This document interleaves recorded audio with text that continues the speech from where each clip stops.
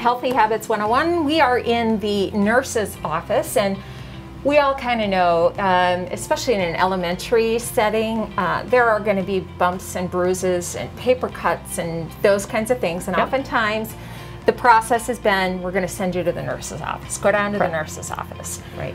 Gonna change that up a little bit this year. Tell us about what some of Right. those changes may look like. Yeah, so uh, we really want to make sure we keep our healthy students with healthy students, and if we have an ill student, we want to make sure they're isolated and kept separate. So um, really just making sure that, that we keep those, that separation of space. Okay. Yes. Well, one of those things um, that might be a mitigation effort is um, got all of these kinds of supplies and things like uh, bandages and things like that.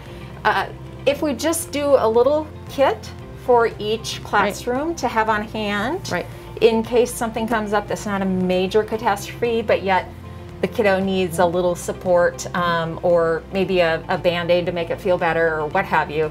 Um, talk to us about that process. Yeah, so I, you know, and some schools are already doing this, um, but we're gonna try to have little kits put together so that there are some of those resources in the classroom so that students can very quickly, you know, they get a paper cut, wash their hand, put the Band-Aid on and get back to class.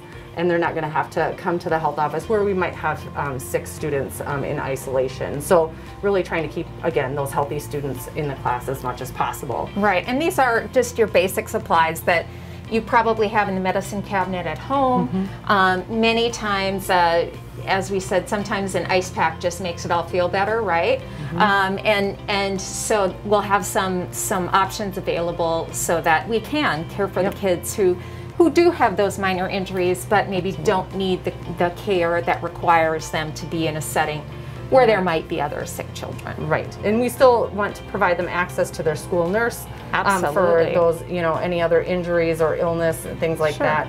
Um, but we're going to be real intentional about trying to keep um, very minor things uh, in the classroom. Right, so perhaps the nurse, instead of having them come down here, the nurse may Go to the classroom. go to the classroom and Correct. see them and that kind of thing. So the access doesn't change, just the way we're delivering the service That's correct. may change a bit. So um, your kiddos will be taken care of in that Yep. regard. Uh, we know that accidents happen with young ones, and we certainly want to make sure that they're feeling um, healthy and well enough to continue their work. So we will make these slight modifications and uh, do our best to keep the kiddos in the classrooms. That's right. Thanks, Molly. Absolutely.